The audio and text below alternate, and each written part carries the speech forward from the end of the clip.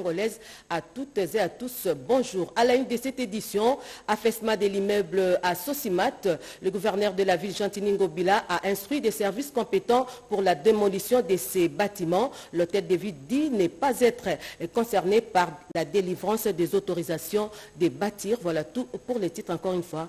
Bonjour et surtout, merci de votre fidélité.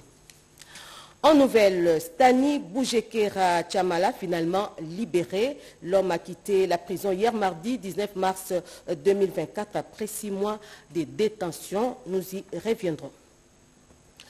Je l'ai dit, affaissement de l'immeuble à Sosimat, le gouverneur de la ville-province Jantiningo Bilambaka a ordonné la démolition méthodique pour gérer toutes les conséquences afin d'éviter le pire. L'autorité urbaine dit également ne pas être concernée par la délivrance des autorisations de bâtir. On fait le point avec Tété Bongunja. C'est une démolition progressive qui nécessite beaucoup de prudence afin de limiter les dégâts. Soucieux de la sécurité de sa population, un jour après l'effondrement de cet ouvrage de huit niveaux, dont deux sont déjà enfouis sous la terre, le premier citoyen de la ville-province de Kinshasa, Jean Tiningobila, a donné le go de travaux de cette démolition. La loi, c'est la loi. Un immeuble qui s'est affaissé à ce niveau-ci, nous sommes obligés de l'abattre. Comme ça que nous avons saisi les services compétents. Nous avons aussi euh, demandé à notre partenaire AED, nous lui avons chargé de faire la démolition de ces bâtiments qui s'est affaissé depuis hier. Pour prévenir les dangers et éviter des cas d'effondrement des immeubles à répétition, le gouverneur de la ville-province de Kinshasa appelle les services attitrés à mettre du sérieux dans le traitement des dossiers avant l'octroi d'autorisation. Les services concernés pour délivrer les permis de construire, ils ont l'obligation de faire le suivi des actes qui sont en train de poser. Au niveau de la ville, nous nous sommes limités à donner des, autorisations de bâtir à, pour des immeubles qui ne dépassent pas plus d'un niveau. Donc rez-de-chaussée plus un niveau, on ne peut pas. Alors ce bâtiment ici, c'était un bâtiment de rez-de-chaussée plus 7 niveaux. Ces travaux de démolition sont exécutés par l'entreprise Aron Sefou, qui est une entreprise de construction de bâtiments et des travaux publics spécialisée en infrastructures de grands travaux. Cette destruction démarre par un système manuel. Les autres engins vont intervenir une fois la partie supérieure est totalement rasée, afin de limiter les dégâts. Des ponts clés, des grilles, des pelles chargeuses et autres engins nécessaires seront également utilisés. Et à Kinshasa, de nombreux immeubles ont été construits en violation des normes urbanistiques et constituent un danger public. Renette Koulonga a approché un architecte qui a proposé des pistes et des solutions pour éviter les constructions anarchiques et leur impact sur les plans de l'environnement. Regardez. Les bâtiments qui ne respectent pas les normes urbanistiques dans la ville-province Kinshasa ont des facteurs dysfonctionnels qui expliquent même les constructions anarchiques et ses conséquences. Il y a des gens qui sont d'ailleurs permis à à prendre en otage une avenue. Alors les, conséquences en sont vraiment beaucoup.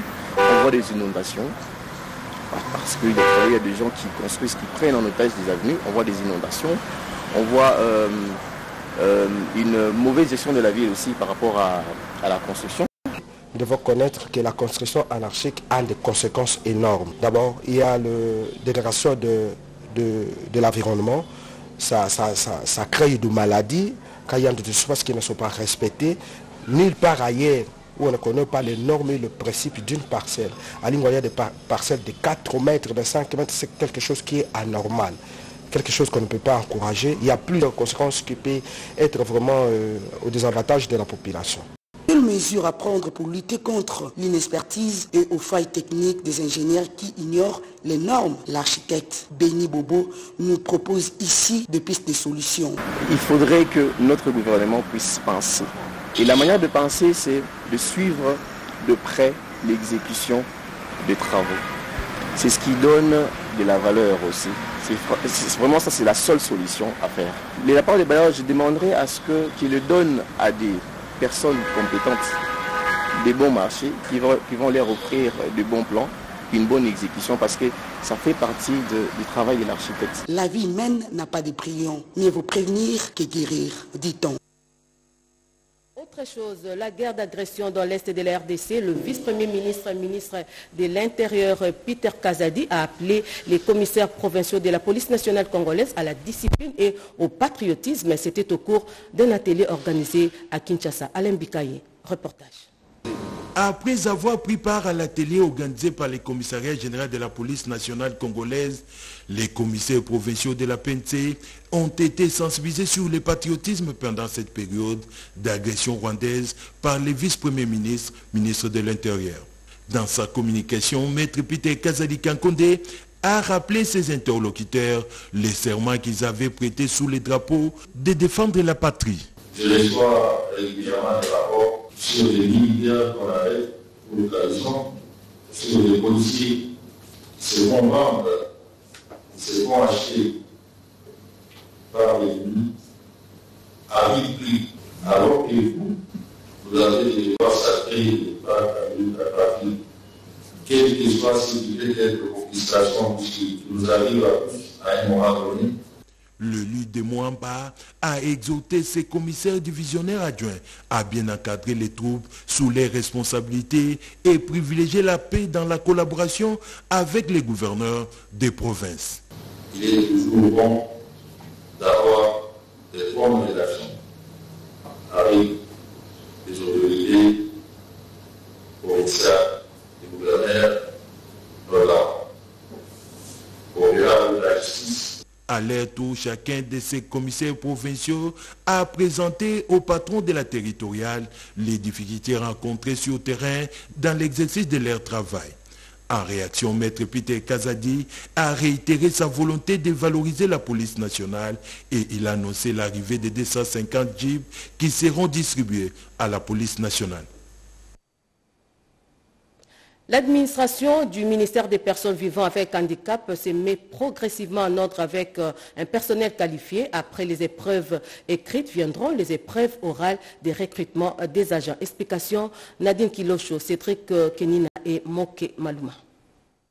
Après la publication de l'épreuve écrite, le processus de la mise en place de la nouvelle administration des personnes vivant avec handicap, tel que voulu par le chef de l'État, Félix-Antoine Tshisekedi Chilombo, se poursuit son désemparé. C'est dans cette optique que le vice-premier ministre, ministre en charge de la fonction publique Jean-Pierre Liaou, a échangé avec madame la ministre des personnes vivant avec handicap pour statuer sur les prochaines étapes de ce processus. Il ressort de cet entretien que dès la semaine prochaine, tout devra être prêt pour la mise en place de cette administration. L'ENA a rendu public le nom de ceux qui ont réussi les épreuves écrites et qui sont attendus pour les épreuves orales. Et aussi, il faut dire à d'autres qui n'ont pas vu leur nom que euh, le processus continue aussi avec la deuxième phase. La deuxième phase, c'est le recrutement sur titre. Et nous sommes en train de travailler. L'administration sera mise en place d'ici peu parce qu'on y travaille. Le VPM Liaou ne dort pas. Le, le, Premier ministre, chef du gouvernement, Samaloukonde, est avec nous, il nous accompagne et nous travaillons vraiment d'arrache-pied parce que nous avons l'obligation de rendre effective la vision du président de la République en termes d'inclusion sociale des personnes avec handicap. La nouvelle administration du ministère des Personnes vivant avec handicap est une réponse du chef de l'État pour la lutte contre toute forme de discrimination. Son fonctionnement va favoriser la mise en place d'un cadre normatif devant réglementer et protéger les personnes vivant avec handicap au sein de la société congolaise. Délégation des élus provinciaux du Haut-Katanga est à Kinshasa. Elle est venue déposer le projet de règlement intérieur de l'Assemblée provinciale du Haut-Katanga au président de la Cour constitutionnelle, nous dit Nikos Loka. Après son adoption par la plénière, le projet de règlement intérieur de l'Assemblée provinciale du Haut-Katanga est désormais à la Cour constitutionnelle. Une délégation des élus provinciaux du Haut-Katanga est en mission officielle à Kinshasa, la capitale, pour déposer le projet de règlement intérieur amendé à la Cour constitutionnelle. Question de vérifier la conformité de ces documents par rapport à la Constitution de la République démocratique du Congo. La Constitution confie au bureau provisoire trois missions. Donc celle-ci, cette mission, c'est une mission parmi tant d'autres. Celle qui a consisté à, donc, à élaborer le règlement qui s'adapte aux réalités de l'heure. Nous, devons nous assurer que ces dispositions légales sont conformes à la Constitution et aux lois du pays. C'est comme ça que nous sommes venus à la, Cour constitutionnelle pour solliciter cet avis de conformité à la Constitution de notre nouveau règlement de l'Assemblée provinciale du Haut-Katanga. Nous venons, nous avons un récépissé qui vient de nous être livré, qui prouve que nous venons de déposer et nous avons en quelque sorte la visite de réception. Conduite par le premier secrétaire du bureau d'âge de cet organe délibérant, cette délégation est composée des quatre députés provinciaux et du coordonnateur du bureau d'études de l'Assemblée provinciale du Haut-Katanga. Et pendant ce temps, les membres de l'UDPS regroupés au sein de la structure euh, Grande Province Orientale se sont retrouvés avec le secrétaire euh, général du parti et présidentiel Augustin Kabouya. De quoi ont-ils parlé exactement? La réponse, c'est dans ces reportages d'Alain Bikaï. Ils se sont mobilisés comme un seul homme pour témoigner leur soutien défectible au président de la République Félix-Antoine Tshisekedi Tilombo et son émissaire politique honorable Augustin Kabouya.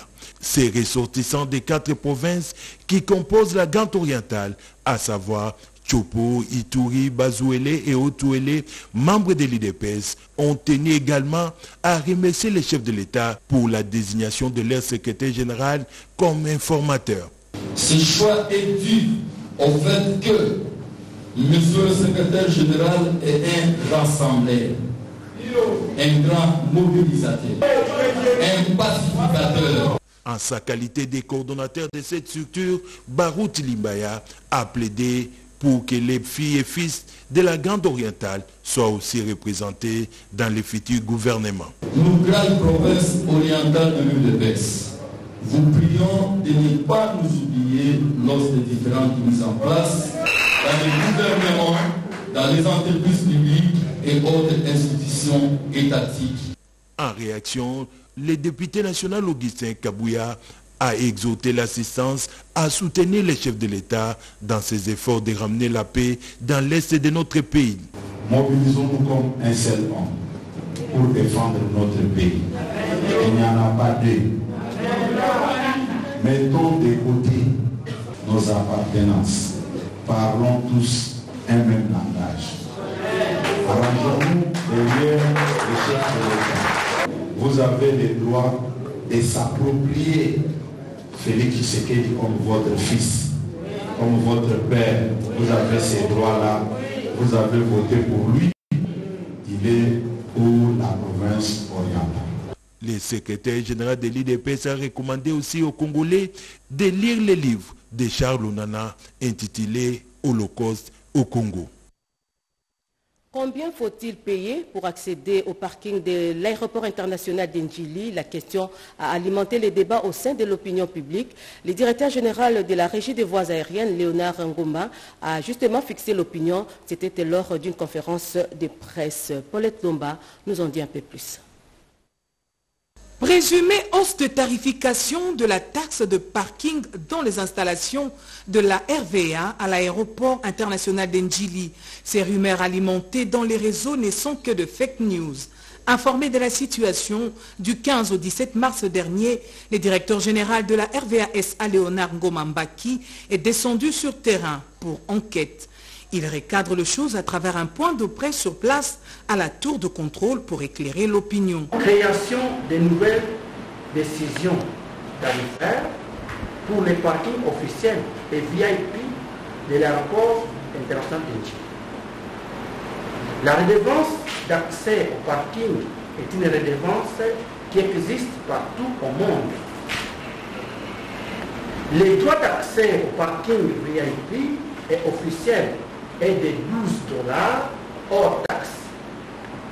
À cela s'ajoute la taxe sur la valeur ajoutée TVA de 16%, soit 12 dollars fois 16%, ce qui nous donne 13,92 dollars, qui est arrondi à 14 dollars par manque de monnaie divisionnaire. Le paiement s'est fait soit en dollars, soit en francs congolais au taux Et tout l'argent collecté à ce titre est reversé en banque. Les cas d'exemption à ces parkings VIP officiels concernent les véhicules officiels du gouvernement, des FARDC, des chefs de mission diplomatique, avec des plaques et documents à bord établis à ce titre. Léonard Ngomambaki a tapé du poing sur la table pour restaurer l'ordre dans ses services aéroportuaires d'Enjili. Infrastructure, où en sommes-nous avec euh, le projet de renforcement des capacités de la mise en œuvre des transports urbains de Kinshasa? Quel sera le meilleur mécanisme de financement et de gestion de ces plans qui bénéficient de l'appui de la JICA Quelques experts sont en atelier ici à Kinshasa pour y réfléchir. Dans cet amphithéâtre de l'INRB, ce mardi 19 mars, les experts des ministères, institutions et autres structures concernées par le projet de renforcement des capacités pour la mise en œuvre du PDTK passent au peigne fin les résultats de quelques groupes de travail. Le consultant a proposé l'instauration d'un comité de pilotage. Ça veut dire qu'il y a une structure qui va gérer, faire le suivi et appuyer la réalisation des, projets du PD, prévus au PDTK. Quel mécanisme pour financer ce PDTK L'expert japonais propose trois scénarios. Le budget du gouvernement et deux volets de financement dans un cadre de partenariat public-privé. Une partie viendra de, l'investissement du, président. D'ailleurs, pour le moment, sur, euh, le président de la République a demandé qu'on élabore un plan quinquennal donc on a, dans ce plan-là, on va essayer d'inscrire des projets du plan directeur. Et en dehors du financement national, on a parlé du financement des PPP, les propriétaires de terres où on doit faire des installations, voir comment on peut euh, collaborer avec eux. Et puis, avec les projets de transport rentables, il peut y avoir des privés qui peuvent venir investir dans les chemins de fer ou dans les BRT ou dans d'autres transports en commun. Ces travaux de deux jours aboutiront à des propositions pratiques pour améliorer la mobilité dans la ville de Kinshasa en proie à des embouteillages et un civisme routier.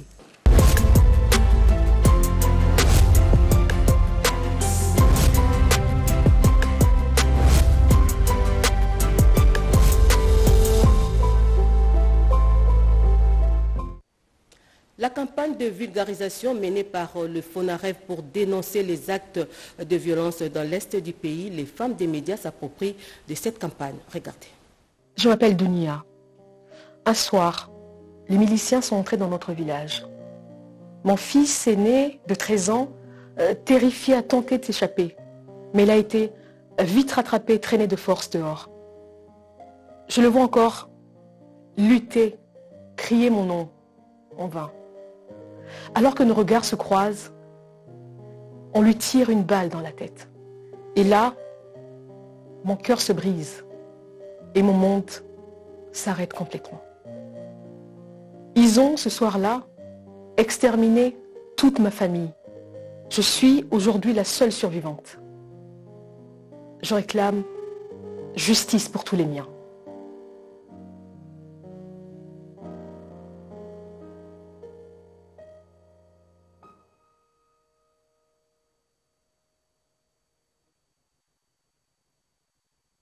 Les Congolais appelés à se mobiliser pour défendre l'intégrité territoriale, c'est l'appel lancé par euh, l'écrivain camerounais Charles Onana qui poursuit son séjour sur les sols euh, congolais. On fait le point avec Eric Kabamba. Un silence assourdissant dans l'assistance. Tous les regards et attentions sont tournés vers cet orateur du jour. Charles Onana, écrivain camerounais qui vient de mettre en lumière tous les coups préparés depuis plusieurs années par le Rwanda pour agresser la RDC. De vérité, contenu dans son ouvrage Holocauste au Congo, l'omerta de la communauté internationale, fruit des plus de 20 ans de recherche.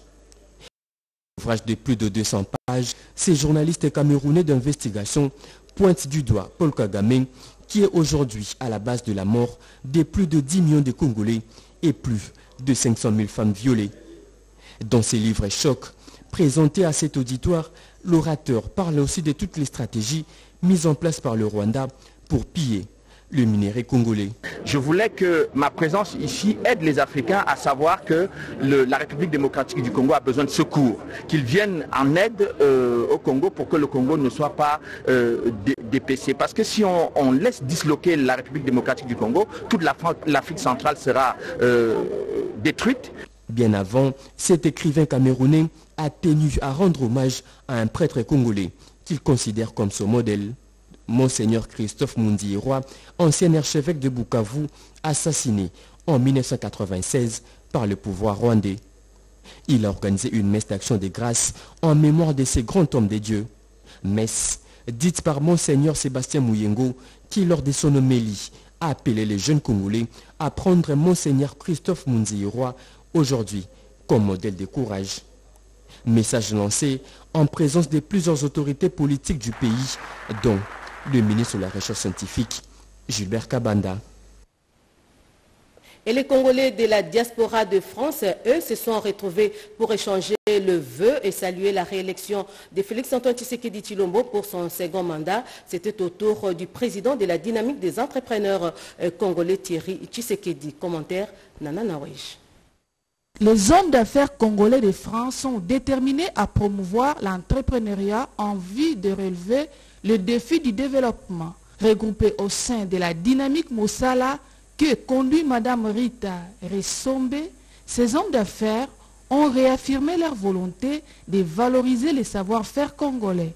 Au cours de la cérémonie d'échange de vœux, l'ambassadeur de la RDC en France, Emile Ngoy, a reconnu la participation citoyenne et active de la diaspora congolaise au processus électoral. Nous avons un défi, un défi majeur d'accompagner le chef de l'État dans la grande mission que la nation lui a confiée. Le parrain de la dynamique Mossala, Thierry Tshisekedi, a reçu un tableau qui immortalise les scores réalisés par l'électorat congolais de la France pour la dernière élection. C'est le pourcentage le plus élevé de résultats issus des votes des Congolais de l'étranger résidant en Afrique du Sud en Belgique, au Canada et aux États-Unis d'Amérique. Du déroulement des votes au dépouillement des bulletins, chacun d'entre vous s'est investi pour que ces élections au sein de notre ambassade soient une réussite, et ce, malgré le froid de l'hiver que vous avez bravé et la contrainte de cette date qui tombait en plein jour Quelques instants de silence ont été observés en mémoire des milliers de Congolais victimes de la guerre qui sévit dans l'est de la RDC. Et pour terminer, la guerre d'agression dans la partie est du pays, les technocrates ont fait un certain nombre de propositions contenues dans un mémo à présenter au président de la République Félix-Antoine Tshisekedi Chilombo. Pour eux, chaque Congolais doit apporter sa contribution pour mettre fin à cette guerre injuste. Cédric Kenina nous en dit un peu plus. L'insécurité dans l'est du pays, une affaire de tous les Congolais. Le collège des technocrates Chinukonga Bantu n'est pas resté indifférent. Cette structure, dirigée par Justin Kabongo Tunsala, vient de déposer un moment auprès du président de la République, Félix-Antoine Tshisekedi. Le dit moment contient un certain nombre de propositions pouvant permettre le retour de la paix dans la partie Est et mettre fin à l'insécurité sémée par le troupe rwandaise. Tous les pays du monde ont des yeux braqués sur notre pays. Ils veulent que cette partie de notre pays soit rattachée au Rwanda voisin, comme ça, eux auront la facilité de venir publiquement prendre parce qu'ils estiment que le chef de l'État actuel, avec sa stratégie, avec son amour patriotique, il ne peut pas accepter que le pays soit divisé. Nous avons demandé qu'on puisse instaurer un système de la rééducation de valeurs morales. Pour le président du collège des technocrates, Chinukonga Bantu, Justin Kabongo Tunsala, les Congolais sont appelés à unir leurs forces autour du président de la République et à bannir la traîtrise. Question de renforcer et améliorer notre service de communication à l'extérieur. Parmi les propositions faites, nous avons également la création d'une entreprise de télécom locale. Question d'être autonome. Ce journal est terminé, mais avant de se quitter, le rappel des titres. Affaissement de l'immeuble à Sosimat, le gouverneur de la ville-province Kinshasa, Jantiningo Bilambaka, a ordonné la démolition méthodique pour gérer toutes les conséquences afin d'éviter le pire. L'autorité urbaine dit également ne pas être concernée par la délivrance des autorisations de bâtir. Vous avez suivi les détails dans ces journaux. Et puis, en nouvelle, vous avez suivi Stani Boujeke Rachamala et a été libéré et finalement il est sorti des prisons hier mardi 19 mars 2024 après six mois de détention. Voilà, ce journal est complètement terminé. Nous disons merci à Mamita Bangoulou et à Pecho Moubenga Yakasongo qui l'ont réalisé. La partie technique a été assurée par José Dimonekene, Yannick Yangumba et Alain Galia. En leur nom, je vous dis merci de votre confiance et fidélité à la télévision nationale congolaise. L'information revient à 13h30 et ce sera avec euh, Eric Kabamba la présentation. Je vous souhaite de passer une très belle journée en compagnie de nos programmes. Au revoir.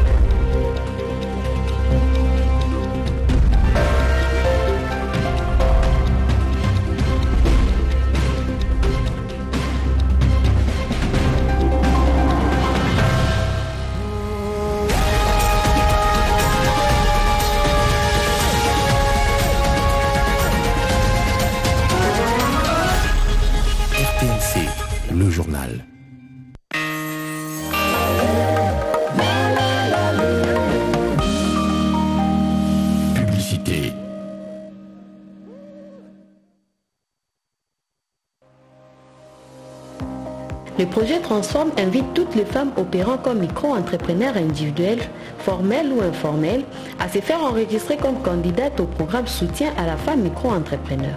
Ces femmes doivent être des Congolaises âgées de 18 ans et plus, appartenant à des structures d'encadrement de femmes entrepreneurs dans les villes de Kinshasa, Matadi, Goma, Bukavu, Bunia, Mbujimai et Kanan. Elles doivent avoir des activités dans les secteurs de l'agro-transformation, industrie légère et des services à valeur ajoutée. Répondant à ces profils mais qui ne sont pas membres des structures d'encadrement peuvent s'enregistrer auprès de structures reconnues par le projet Transform. Pour plus d'informations, s'adresser aux antennes provinciales du projet Transform aux adresses suivantes et sur les sites www.transform.cd et le réseau social du projet Transform.